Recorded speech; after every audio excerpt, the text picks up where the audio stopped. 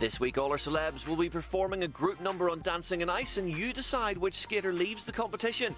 Join Phil and Holly tomorrow evening at 6. Now on ITV, he's back after his Christmas special, and more very brave celebs have let Keith go through their keyhole.